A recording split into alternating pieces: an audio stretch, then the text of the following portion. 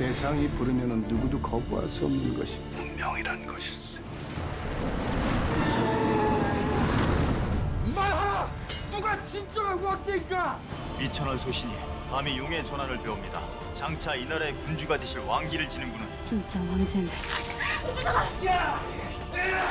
내가 누군지 알려줘야 하느냐 나는 왕의 딸이니라 자네의 새 지효는 왕을 속이고 이하전을 속일 수 있겠지.